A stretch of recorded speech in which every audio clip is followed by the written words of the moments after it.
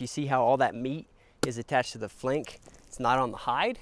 In order to do that, you have to get in the mode of using the angle of your blade against the hide and keeping that trampoline effect, okay? That's the only way you're gonna keep that flank on there. These oryx are actually particularly difficult, but elk and deer are the same way.